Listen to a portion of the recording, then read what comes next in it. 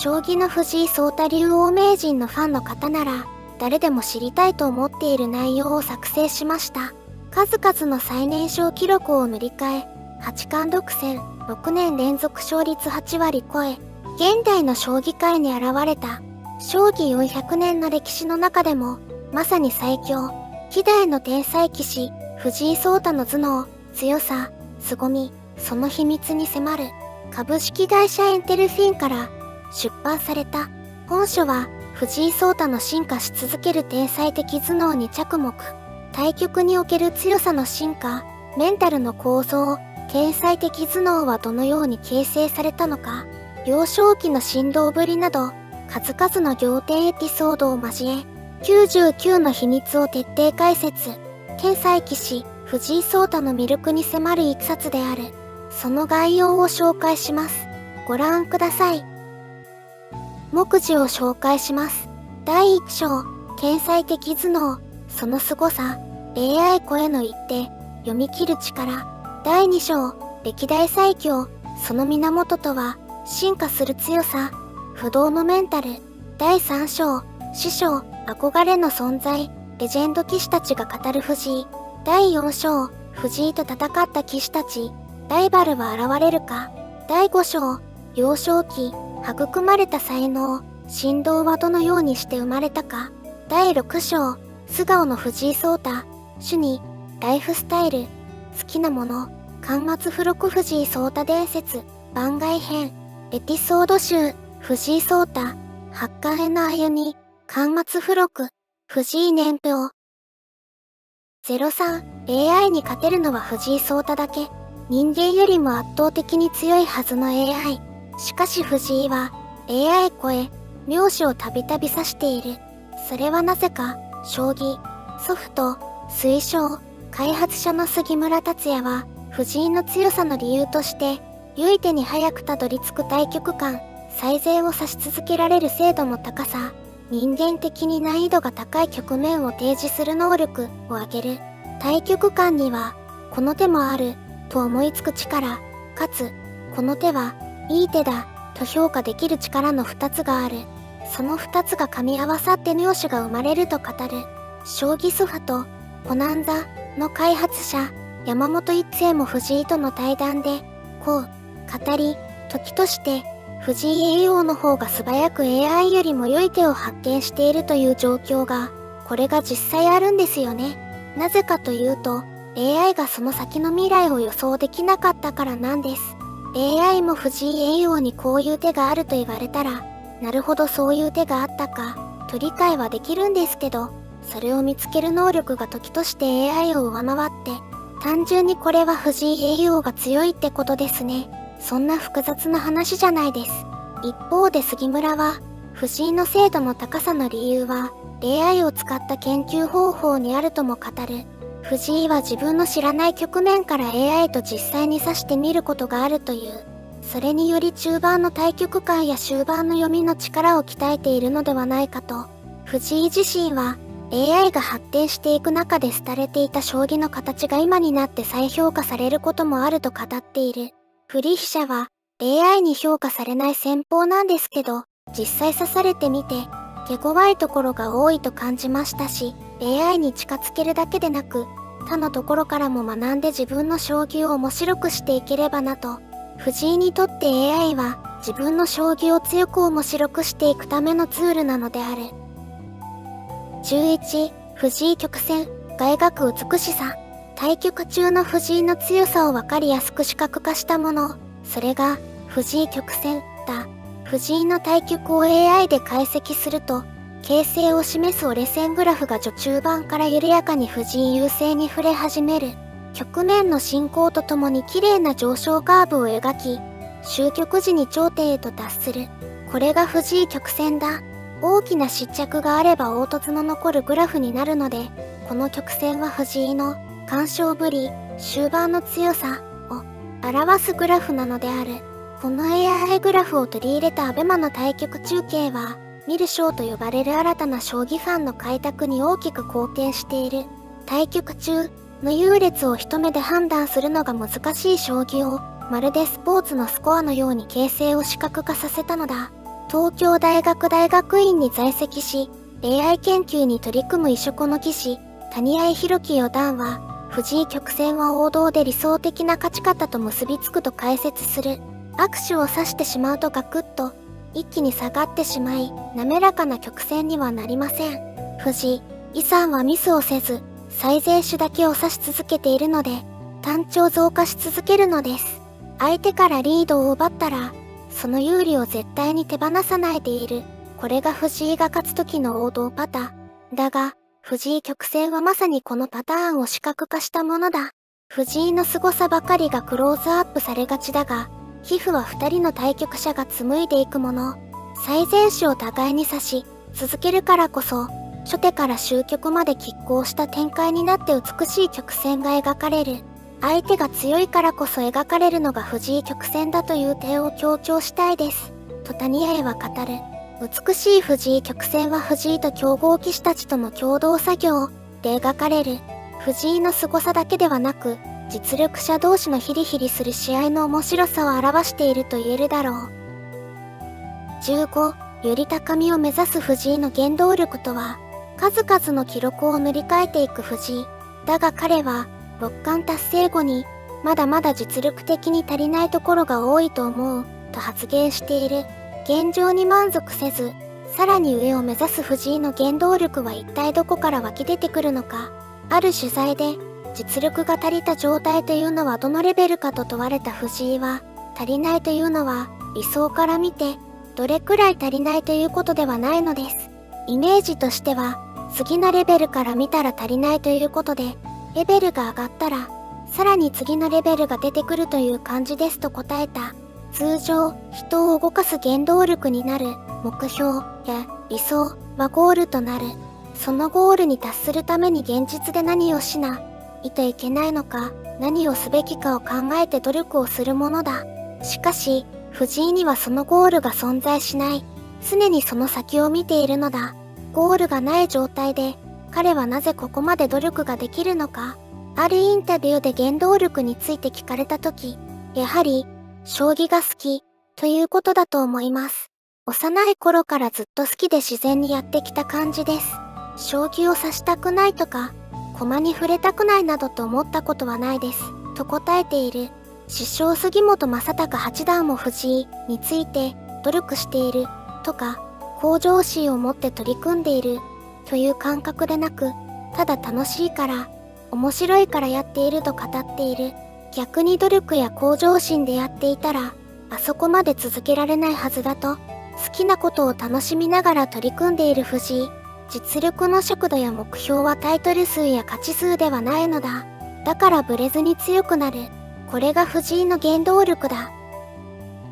20、圧倒的な集中力の高さ。将棋は一箇所でも形が違えば結果がガラリと変わるゲームだ。局面は一手進むことに変化し続け過去の対局や事前研究をどれだけ詳細に行ったとしても、常に参考にすることはできない。研究から離れたところでど、うさすかが勝敗を分ける。また、事前研究から離れれば、ある程度の頻度でミスをすることは避けられない。将棋は攻守で勝つゲームではなく、いかに握手を指さないかで勝敗がつく。そして終盤になると、最善手以外は負け、というような難しい局面が品質し、しかも残り時間も少なくなる。ミスが起きやすい状況になるのだ。しかし藤井はそのミスが圧倒的に少ない。藤井の対局の評価値をグラフ化した藤井曲線もミスが少ないからこそ美しい曲線が描かれるのだ。また形勢が良い時だけでなく悪い時もミスをしないことは重要だ。プロ同士の戦いでは、僅差での有利不利はたやすく逆転につながるからだ。藤井は状況が悪くなっても、粘り強く追いすがり逆転にこぎつける。それは一発逆転の一手を指すからではなく、一手一手深く集中しながら考え続け、精度の高い手をずっと指し続けられるからだ。2020年8月の王位戦7番勝負で藤井に敗北した木村和樹九段は、対局中の藤井の印象についてこう、述べた。ミスが少ないということと、よく考えるなということを感じましたね。あと、時間が減ることを気にしていないのかなという感じはしましたね。藤井自身もこう語る。秒読みで残り時間が少ない時でも、本当に集中していれば、最善に近い手を導き出せるような感覚はあります。このような圧倒的な集中力の高さも、藤井の強さの源なのだ。22、藤井の圧が相手のミスを引き起こす。現在の将棋界において、タイトルや棋戦優勝を勝ち取るには藤井が巨大な壁として立ちふさがっている。藤井と戦う棋士は、どこに活路を見出せばいいのだろう。羽生世代の棋士、森内俊之九段によると、現在の藤井さんには弱点らしい弱点はない、という。藤井と対局する場合、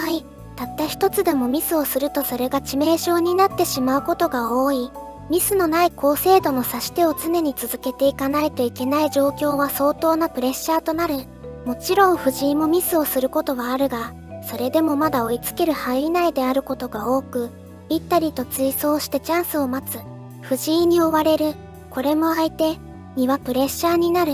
プレッシャーという圧がミスを引き起こしてしまうのである。2020年7月、NHK 杯テレビ将棋トーナメント1回戦で、藤井は塚田康明九段と対局した。塚田は藤井の38歳年上のベテラン棋士。しかし藤井に特別変わった様子は全く感じなかった。対局前にまずは一口お茶を飲む。といういつもの形で臨んだ。塚田は積極的な指し回しで優勢に進めていたが、藤井が相手の攻めを見切ると、最後は一気に切り返して逆転勝利した。対局を解説していた谷川浩二十七世名人は、実は塚田さんには決め手に近い手があった。まだ持ち時間も残っていたので、じっくり考えれば勝ちを見出せたはずだ、と語った。ハロー効果、五行効果という社会心理学の用語があるが、つまりは、藤井ブランドによって勝ち筋を見逃したのではないだろうか。年上の大ベテランでさえも致命的なミスを引き起こしてしまう。藤井の圧そのものが対戦相手にとって大きな壁となっているのだ。29、藤井の人間性と強さの関係、桁外れの強さである藤井。その一方で人間性の素晴らしさを語られることも多い。将棋の強さに人間性は関係あるのだろうか。藤井は将棋界の代表として多くのイベントに参加したりメディア取材に対応する。その時藤井が見せるのは非常にささやかな気配りだ。どう答えるか困ってしまうような質問にも規定を聞かせ、相手の立場が悪くならないような答えを返す。人に嫌な思いをさせないささやかな気配りは、これが本当に20歳の若者なのかと驚くほどだ。藤井が日本中から人気を集めている理由は、このような人間性の魅力も大きい。将棋の強さに人間性は関係ないと言われるかもしれない。しかし本当にそうだろうか。将棋の腕を上げる際に自分の間違いを受け入れる素直さや謙虚さ、新たな手を受け入れる柔軟性などは実は重要な要素なので、はないだろうか。藤井と親しい永瀬拓也九段は、藤井の強さの理由は謙虚さだと語る。藤井さんほど強ければ、人の話は聞かないというやり方でもいいはずだと思います。でもそうじゃない。人から得るものによってまだまだ強くなれると感じ取り、成長をやめることなくずっと歩み続けている藤井さんの強さは努力の結晶です。藤井の謙虚に努力を積み重ねる姿勢を見れば、まだまだ強くなるに違いない。何より藤井自身がそのように述べているのだ。強くなることで今まで自覚していなかった課題などがさらに出てきます。将棋というすごく奥深いゲームで、それを追求することには終わりがないと思います。自分次第で強くなれる余地はまだまだたくさんあると思います。39、レジェンド、羽生善治が語る藤井聡太。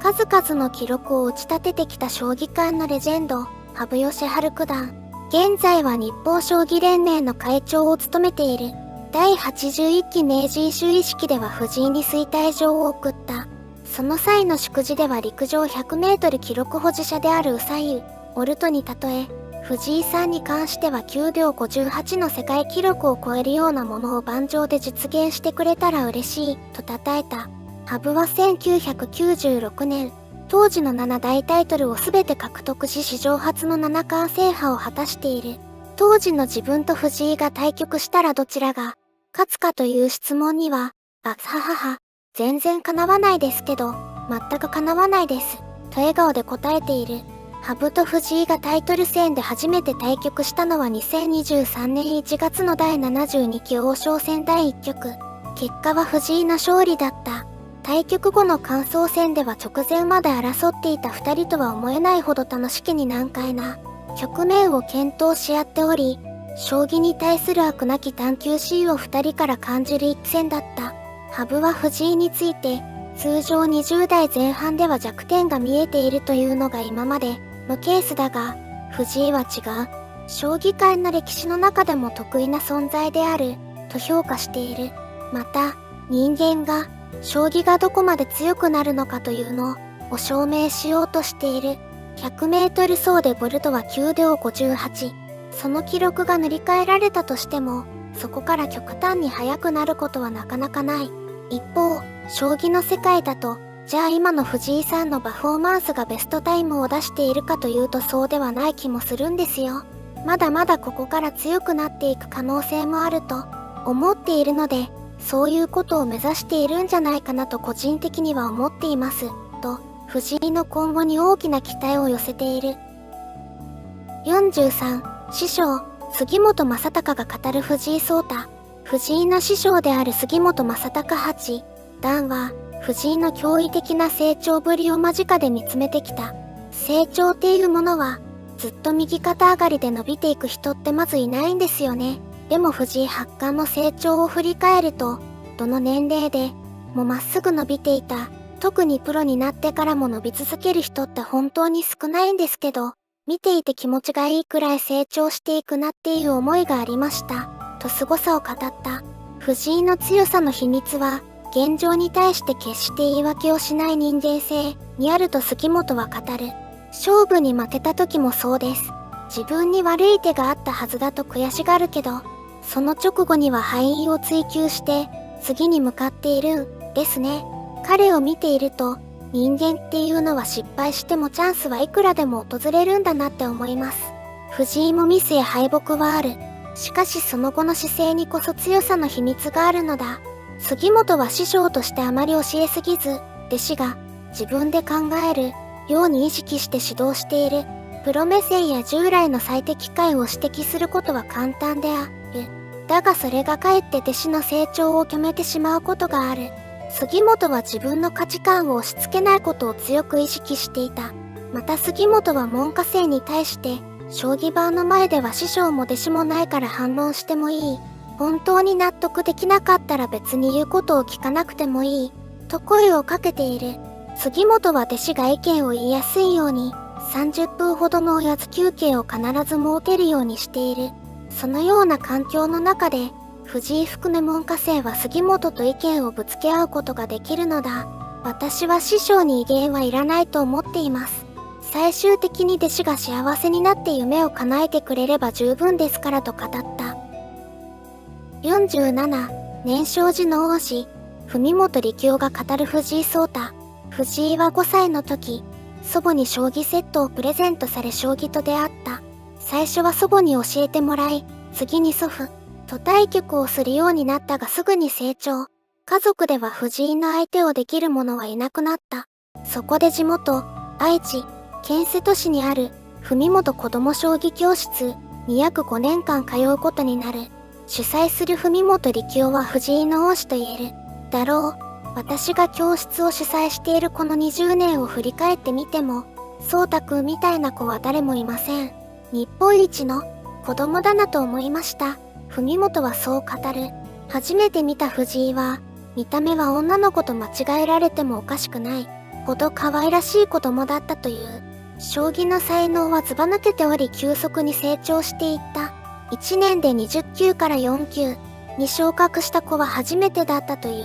将棋の定石を覚える、詰将棋を解く、子供同士で対局、といった基礎を繰り返し学ばせる指導方針だった。文本子供将棋教室。藤井は記憶力が飛び抜けて抜群で、定石をすぐに覚えていった。また与えられた問題を解くと、まだ問題がありますか？と催促してきたという。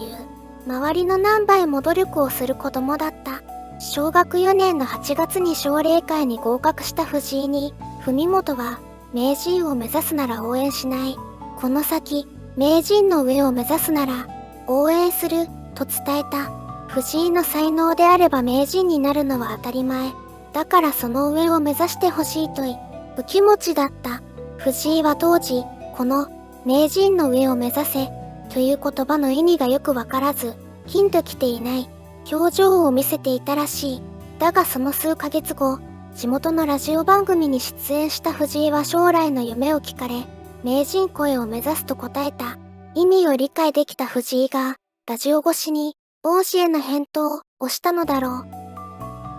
う。50、藤井将棋を最も知る男、永瀬拓也。2023年10月11日、藤井の史上初、八冠制覇に最後に立ちはだかったのが王座、永瀬拓也だった。永瀬はこの対局で藤井を、かつてないほどまでに追い詰めたが、藤井が大逆転を果たした。藤井が指した5、5、銀に対して、永瀬が指したのは、5、3、馬。その瞬間、永瀬勝利を99%と予測していた AI の評価値が10%以下にまで一気に低下し、運命の一手と評された。自らの握手に気づき髪をかきむしる永瀬の姿が印象的だ。永瀬は将棋ファンから、軍曹と呼ばれる強豪棋士。2015年の電王戦ファイナル、将棋ソフとセレーネを完膚なきまでに打ちのめしたのが、当時22歳の永瀬だ。藤井の名を一躍世に知らしめた2017年の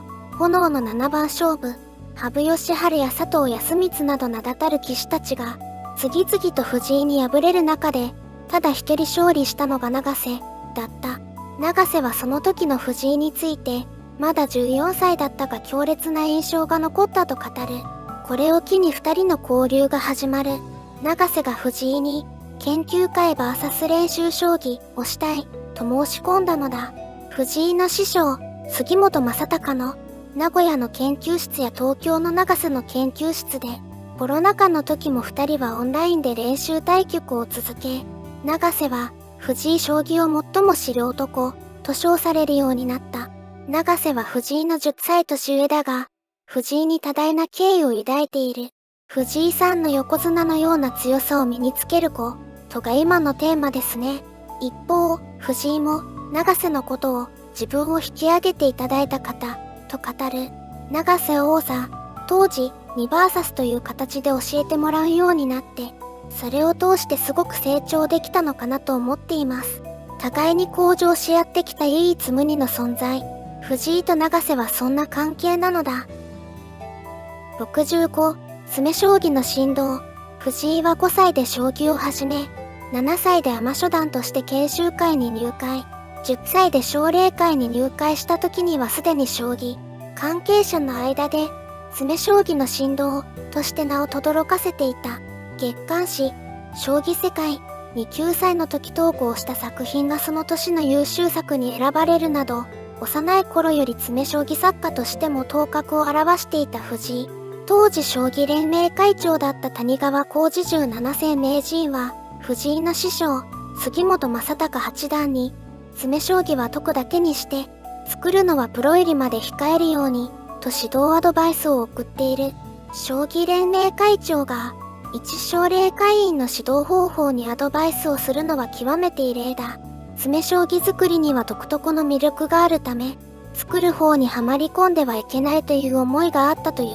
藤井の騎士としての才能を潰したくなかったのだろう。2017年に雑誌の取材を受けた藤井はその場で、谷川が作った13手詰めの問題を数秒で解いている。あの時のアドバイスがきっかけで、作るよりも解く方に注力をしてきた成果なのかもしれない。2019年12月に開催された将棋プレミアムフェスイン名古屋、詰将棋コーナーでは、藤井と師匠の杉本が対戦。杉本は1問1点、藤井は1問0.5点のハンデをつけ1分間の得点円数を競った。結果は杉本が9問正解したのに対し、藤井は17問正解。ハンデによって点数では負けたが、藤井の驚異的な回答速度に会場内は大きく、どよめいた。ラストでは、江戸時代の詰将棋である八世明治湯、九代大橋宗慶氏の詰将棋集、将棋武力の8番が藤井に出題された。初見で41手という長手数の難問だったが、わずか25秒で正答して再び会場中に驚きの声が広がった。師匠の杉本氏はこの時、人間技ではないですね、と目を丸くしながら語った。70、忘れ物が多い藤井聡太。聡太は好きなことには本当に夢中になる。他のことに注意がいかなくなるぐらい、と語るのは母の優子さん。小学生の頃は学校にランドセルを忘れたり、指し手を実行するあまり、道を歩いて誤って速攻に落ちることもあった藤井。その後も藤井は忘れ物をすることが多かったという。藤井の師匠、杉本正隆によると、藤井はカバンを忘れることが多かったという。ある家を訪れた時、学生カバンを忘れて帰りそうになり、忘れ物ですよ、と声をかけられて気づいたり、14歳の頃には大阪対局の後にロッカーに預けていた携帯電話を忘れて帰ってしまったことがあるという。また、杉本の車の中に荷物を置いて、そのまま帰りそうになったことがあるという。この時は杉本も気づかず、お互い別れの挨拶の後、一緒にいたもう一人に、藤井さん、カバンカバン、と言われて気がついたという。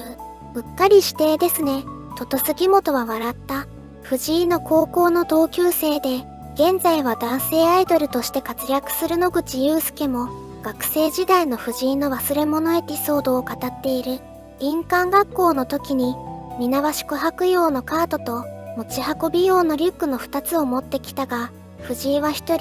リュックしか持たずに集合場所に来たという。周りの人から、どうしたのかと聞かれて、初めて藤井は電車にカートを置き忘れていることに気づき、慌ててカートを取りに行ったという。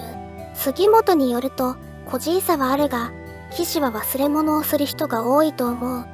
考のリソースを将棋に割り振りすぎるからで、もう職業病のようなものだ、という。藤井が忘れ物を多くしてしまうのも、それだけ脳の思考を常に将棋に集中させている証拠なのかもしれない。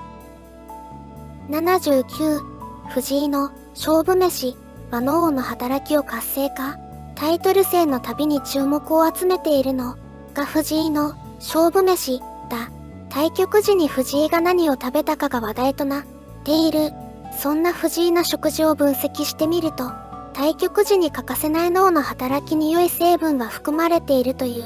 2023年3月、藤井が棋王を奪取した棋王戦5番勝負第4局の際に注文した食事を見てみよう。午前のおやつに会場である栃木県日光市のメーカー、絹の清流、とアイスコ、非、昼食はカヌマニラの卵とじとヤシオマスの押し寿司。午後のおやつにはオレンジジュースとアイスレモンティーを注文。藤井は午前中にアイスコーヒーを飲む頻度が非常に高い。コーヒーは覚醒作用や集中力を高める作用があり、将棋の対局時には非常に有効だ。逆に午後はほとんどコーヒーを飲まない。藤井は忙しくても睡眠時間を一定に保つように意識している。午後にコーヒーを飲んで夜寝つけなくなることを懸念しているのだろう。カヌマニラの卵とじとヤシオマスの押し寿司は地元の食材を使った料理。タイトル戦では蕎麦やうどんなど軽い食事で済ませる騎士が多いが、藤井はご当地名物を積極的に食べることが多い。名物は基本的にその地で採れた新鮮な食材を用いている。つまり栄養価が高いのだ。また藤井は、カレーを多く注文することでも有名。実際、昼食にカレーを食べた日の勝率は高い。だが藤井は対局中の食事は、その時の気分で食べたいものを選んでいます。と話す通り、現担ぎで毎回カレーを食べようとはしない。実はそれも良い習慣だ。同じものばかり食べる食生活では脳への刺激がなくなってしまう。気になるものがあったら食べる。という行為は、知的好奇心が刺激されて脳も活性化するからだ。86、藤井の記号とは、藤井は至るところで記号を頼まれることが多い。記号とは、毛筆で言葉や文章を書くこと。筆を振るうからこの語がある。将棋の棋士にとってはサインのようなもの。色紙やセンスに信念や座右の銘な、どう書く、藤井がこれまでに書いた記号の一部を紹介していこう。万丈没が、2023年11月、第36期竜王戦で八冠達成後初のタイトル防衛を果たした藤井が記号、我を忘れるほどに集中。して考えるという意味、盤上に没頭して集中して考える。今回のシリーズでは考えていてそういう感覚になるところもあったかなと感じたので、と藤井は述べた。戦士番号2022年12月の第35期竜王戦。最年少で竜王初防衛した藤井が、いろいろと考えを巡らすことを意味する。戦士番号は考えを巡らすことなので、長い対局では意識していきたい、と語った。運外蒼天。困難を努力して乗り越えた先には、明るい未来があるという意味。2021年度の棋聖戦を制し、史上最年少でのタイトル防衛特段昇段を果たした際に寄稿。強くなることで、盤上において今まで見えていなかった新しい景色が見えてくるかなと思う。2023年内閣総理大臣継承の返礼品にもこの言葉を記号している。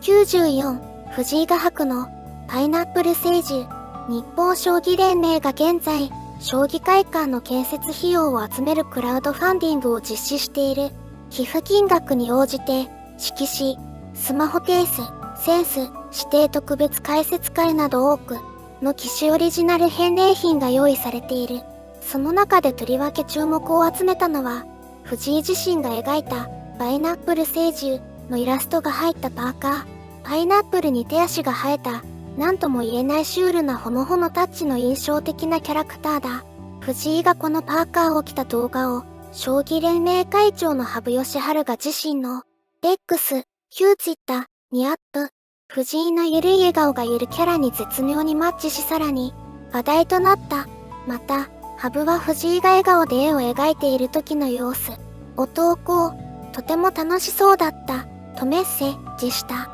藤井画伯のゆるキャラに世間の反応は様々。クラウドファンディングチームの高野秀幸六段も、現場の段階では、大丈夫かな、と不安もあったが、あれだけの作品になるとは、将棋に関心のなかった層にも届き、本当にありがたい、検査系の画伯はやはり違う、とごまえつ、日テレの情報番組、デイデイの MC の山里亮太は、パイナップル星人って思いつくのが、何なんですかね。どうしてこれになったのか、なんて先の世界にいたのか、秘話が知りたいと驚愕、思わぬ反響を受け藤井は、騎士になった時、絵を描くことと歌を歌うことだけは絶対しないようにしようと思っていたが、先に羽生先生がキャラクターイラストを描かれたので受け、守る手がなくなってしまった、と、将棋用語を使って苦笑い。ちなみに発案のきっかけは、パイナップルが好物だという単純な理由だという。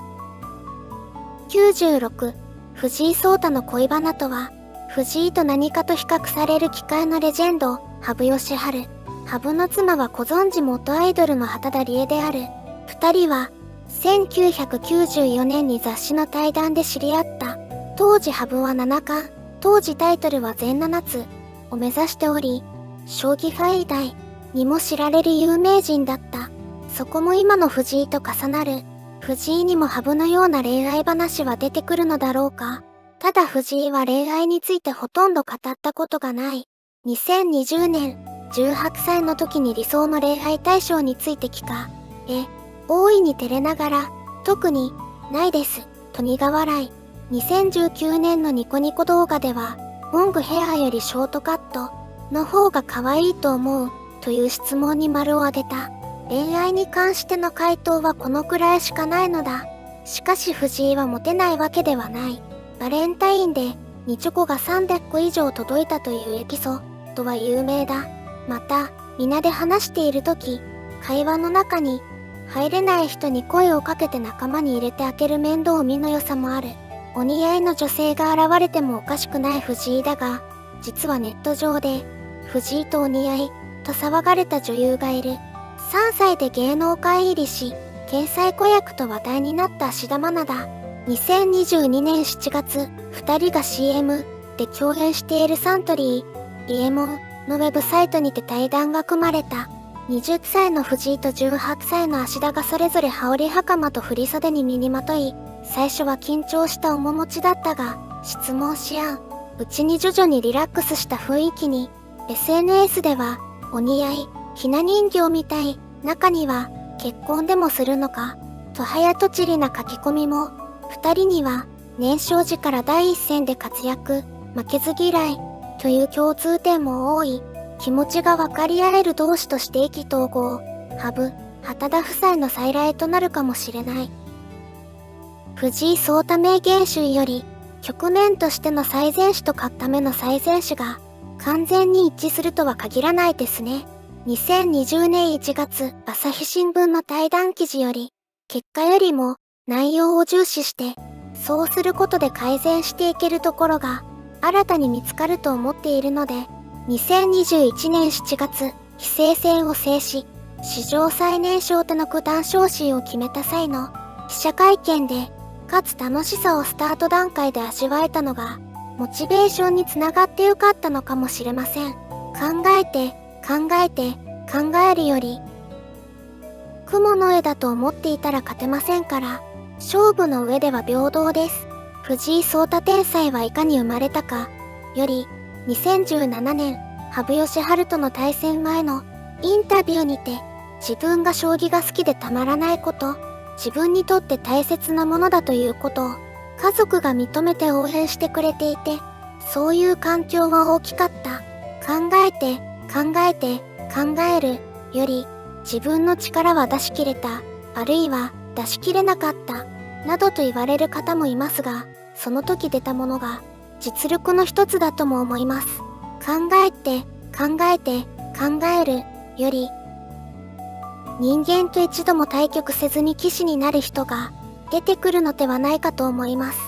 そういった方々が将来どんな将棋を指されるかは自分もすごく楽しみにしています。弟子、藤井聡太が教えてくれた99のことより、詰将棋の問題を見てしまったら解かずにはいられません。弟子、藤井聡太が教えてくれた99のことより、自分のパフォーマンスへの不安は常にあります。打ち消すには普段から取り組まなければならない。でも負けを恐れる気持ちを完全にゼロにはできません。ナンバー、ナンバー1044より。